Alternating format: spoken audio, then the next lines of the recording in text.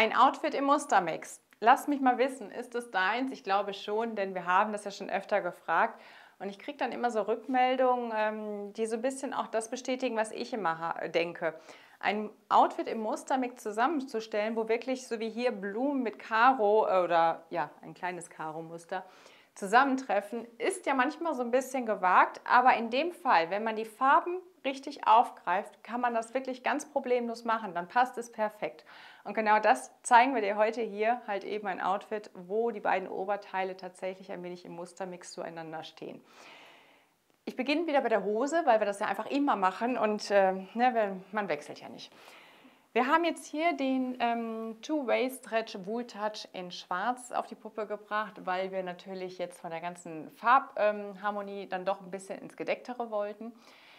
Da gibt es gar nicht so ganz viel zu sagen. Der Stoff ist wirklich super schön, fällt schön locker, ist ein bisschen griffiger und passt gut ähm, zu dieser Jahreszeit Herbst, die ja dann irgendwann jetzt kommt. Passt auch gut in den Winter, weil so richtig frieren müssen wir ja meistens nicht.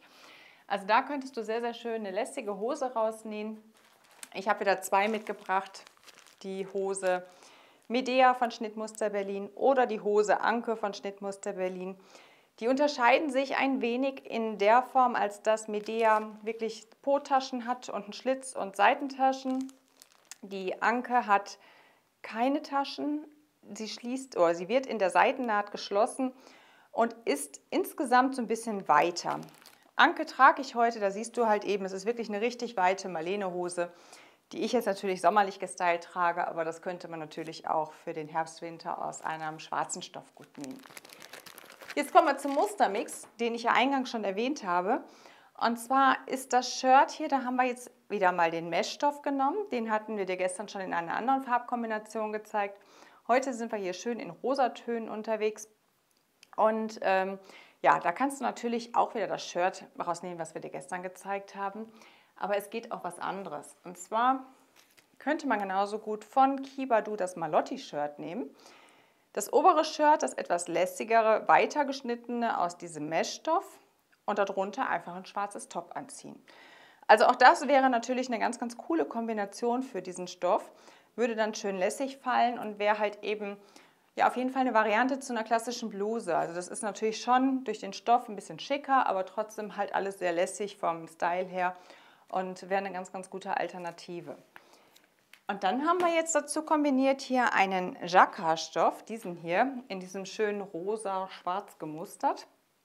Und da zeige ich dir jetzt auch einmal, wie der Stoff sich denn überhaupt so verhält, damit du eine Vorstellung davon hast. Der ist also schon so ein bisschen, ein bisschen griffiger, aber nicht zu dick. Er dehnt sich ganz gut in die eine Richtung. Und ähm, da kannst du natürlich dann auch sehr, sehr schön einen sommerlichen Mantel rausnähen oder einen Übergangsmantel. Und da habe ich auch ein Schnittmuster mitgebracht, nämlich den Mantel Ebony von Schnittmuster Berlin. Das ist ein ganz gerade geschnittener Mantel. Und gerade finde ich gerade bei diesem geradlinigen Muster ganz gut, weil dann kannst du das wirklich komplett eben wieder aufnehmen. Hat aufgesetzte Taschen.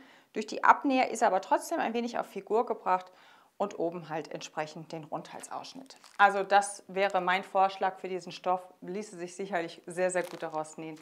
Ja, und dann ist das natürlich ein ganz, ganz tolles Outfit, was durchaus ein bisschen schicker ist, bürotauglich ist. Und weil die Frage ja jetzt bestimmt kommt, welcher Farbtyp soll das Ganze anziehen, dieses ganze rosa, gräuliche ist natürlich wirklich super für Sommertypen geeignet. Und da, das wäre jetzt auch meine Empfehlung dazu.